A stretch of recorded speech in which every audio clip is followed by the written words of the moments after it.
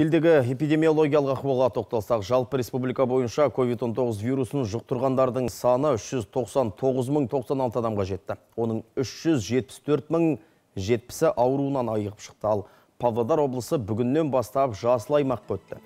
Өңірде вирус жұқтыру деңгейі азайып келеді. Бүгінде вирустың 24554 жағдайы тіркелген.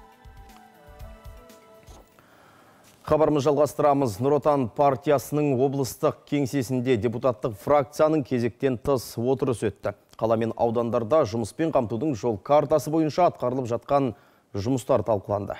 Әріптесім әңгімелейді.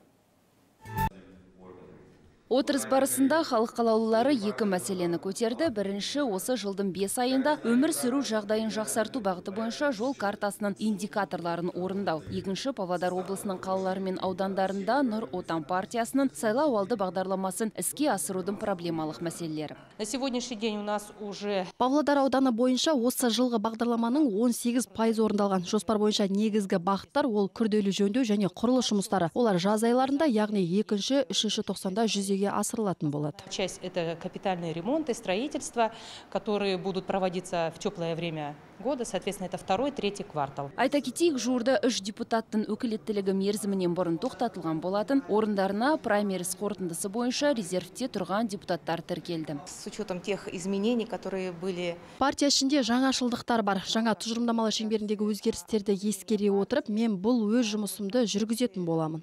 Мне придется в процессе немного лучше узнать и вникнуть. Жалпы жыл басынан бері облыстық маслихат депутаттары құрамындағы жұмыс топтары партияның таяудағы 5 жылға арналған сайлау алды бағдарламасының іске асырылу барысына. Оның ішінде әлеуметтік маңызы бар объектілердің құрылысына тұрақты мониторинг жүргізіп келеді. Мөлдір Бультекова, Досымбек Тоқай, ертіс ақпарат.